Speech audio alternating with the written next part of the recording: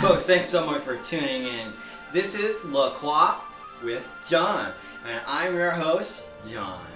Come on, as we laugh and drink and explore a world of flavors beyond your wildest dreams. Come on. With a flavor beyond your wildest dreams, every bubble has a story, it seems. All natural, sparkling water, John. Folks, thanks so much for coming to the show today. Such a wonderful day, and I got I got a flavor that I'm like super excited to share with you. Peach pear. Look at this. What an incredible flavor. Part one, we got the can. Um, this is a beautiful can. Uh, we got yellow and, but not even like that much orange, but it's definitely got some orange in that can. Um, just a real light uh, can, and just a, with the regular little quad brown there with the blue, and just a real beautiful can.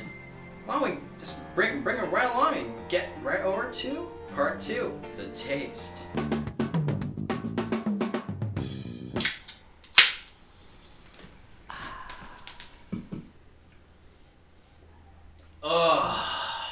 That is refreshing if you have ever had one before.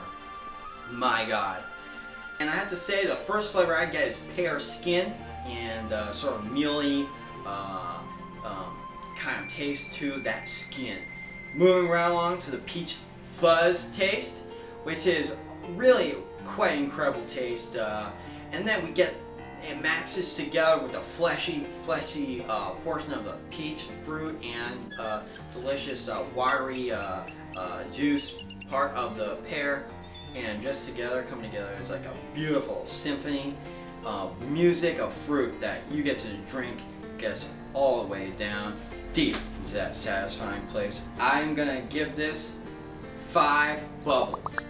That's right, folks. This is a five bubble La Croix flavor. I'm very happy to tell you because if you don't mind me, gonna have a couple more sips and just enjoy this flavor of peach pear La Croix.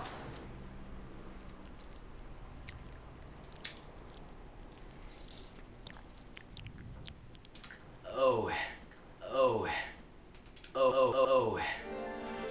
That is why I love my job. From me to you, enjoy your peach pear La Croix. And also, before we go, remember, every bubble has a story.